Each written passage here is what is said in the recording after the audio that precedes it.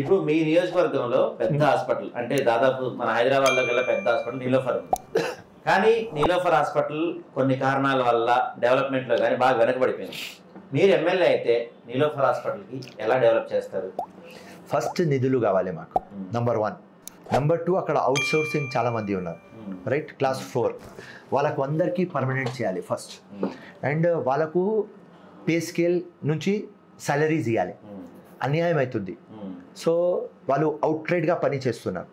Niloufer two thousand నైన్లో నేను రాజకీయంలో వచ్చినప్పుడు five hundred and forty bed and today more than thirteen hundred so కానీ అదే సేమ్ స్టాఫ్ కానీ వాళ్ళకు ఇంక్రిమెంట్లు లేవు.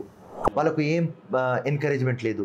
సో దానికోసం వాళ్ళు పని చేస్తున్నారు కానీ అంత చిత్తశుద్ధితో చేస్తలేరు. సో ఫస్ట్ ఎవర్ పేషెంట్లకు కాపాడుతున్నారు. వాళ్ళకు నేను కాపాడాలి. ఎందుకంటే గ్రౌండ్ లీడర్ తమ్ముడు. అన్ని రోజు చూస్తా కాబట్టి ఈ ఈ లాంగ్వేజ్ ఈ భాష మాట్లాడతా. ఉట్టి గాల్లో మాట్లాడను. దాని తర్వాత హాస్పిటల్కి ఫండ్లు తీసుకువచ్చి ఇంకా డెవలప్మెంట్. Bathroom facility. పాపం వచ్చి రోడ్ మీద పండుకుంటారు. వాళ్ళకు ఫెసిలిటీ. వాళ్ళకు అన్నం తినిపించే ఫెసిలిటీ మంచి వాటర్ ఇచ్చే ఫెసిలిటీ. ఇది చేస్తే ఐఎమ్ సక్సెస్ఫుల్. ఈసారి ఎలక్షన్ షెడ్యూల్ రాగానే ఎప్పుడూ లేనంతగా ఈసారి అధికారులు బదిలీలు జరిగాయి. మన కమిషనర్ని మార్చారు. చాలా మంది అధికారులు మార్చున్నారు దేనివల్ల అంటారు ఇదంతా ఇది మొత్తం కంప్లైంట్లు ఇచ్చినారు కదా. చీఫ్ ఎలక్షన్ కమిషన్ దగ్గర పోయి లాస్ట్ వీక్ తాజ్ కృష్ణాలో బీజేపీ పార్టీ కాంగ్రెస్ పార్టీ అన్ని కంప్లైంట్లు ఇచ్చినారు. కి వీళ్ళు వన్ సైడెడ్ చేస్తున్నారు. ఒక ఎస్పీ వచ్చి బీఆర్ఎస్ జిందాబాద్ అంటున్నారు. వీడియోలో చూపించినారు ఉమ్, బయస్గా ఒక ఆఫీసర్లు పని చేస్తున్నారు. So fair free transparent election కావాలి అంటే. మంచి honest efficient officer.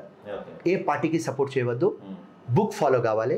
System follow కావాలి. ఉమ్, అట్లాంటి ఆ కంప్లైంట్లు ఇచ్చినారు ఉమ్, ప్రూఫ్లతో ఇచ్చినారు ఓకే. దానికోసం బదిలీ అయినాయి. ఉమ్. రైట్ నేను నేను ప్రతి ఆఫీసర్తో ఓకే. నో ప్రాబ్లం నేను వాళ్ళు తప్పు చేస్తే నేను ఇక్కడ నుంచి తప్పు చేస్తానని చెప్తా. వాళ్ళు మంచి పని చేస్తే మంచి పని చెప్ చేస్తానని చెప్తా.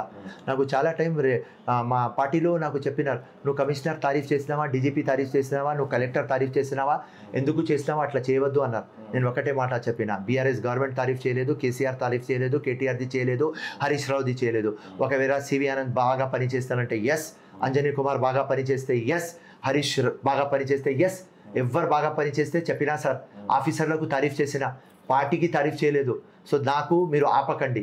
సో ఎవరు నిజం పని చేస్తారు సత్యం మీద పని చేస్తారు ఎవరు లా అవాయిడ్ చేస్తారు ఎవరు కరెక్ట్ పని చేస్తారు ఫిరోజ్ ఖాన్ తారీఫ్ చేస్తారు. ఎవరైనా తారీఫ్ చేయకపోతే ఫుల్ తిట్టి వస్తా.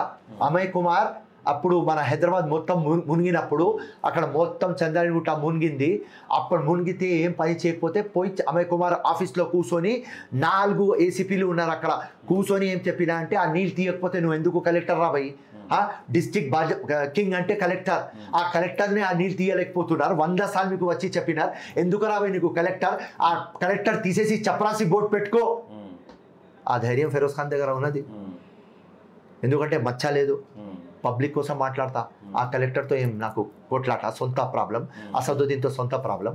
అసదుద్దీన్ అక్కాకి పెళ్ళి చేసుకున్నా లేకుంటే నా చెల్లెలకి ఆ అక్బరుద్దీన్ పెళ్ళి చేసుకున్నాడు పబ్లిక్ ఆవేశం మాట్లాడతా. వాస్తవం ఈ పని అయితలేదు. ఈ రోడ్ ఎందుకు అయితలేదు? సిక్స్ మంత్స్ నుంచి ఈ రోడ్ త్రీ టైమ్స్ వేసినారు. ఎందుకు? ఈ డ్రైనేజ్ బ్యానర్లు ఎందుకు చక్కగా అయితలేదు? బస్తీలో నీళ్ళు వచ్చేస్తున్నాయి ఇంట్లో నీళ్ళు వచ్చేస్తున్నాయి. మస్కిటో కంట్రోల్ ఎందుకు అయితలేదు? ఆరోగ్యం పాడైతుంది. స్కూల్లో ఫెసిలిటీస్ ఎందుకు లేవు? హాస్పిటల్లో పోతే ఎందుకు హంగామా అవుతుంది? ఈ మొత్తం పబ్లిక్ ప్రాబ్లం ఫిరోజ్ ఖాన్ అడుగుతాడు. ఫిరోజ్ ఖాన్కు సొంతంది ఏది లేదు. కానీ పబ్లిక్ గురించి అందరితో దుష్మని తీసుకున్నా. కానీ సత్యంలో దుష్మని తీసుకోవాలి అంటే ఎవరితోనే దుష్మని తీసుకుంటా. ప్రజల సమస్యలు సాల్వ్ కావాలి. న్యాయం కావాలి.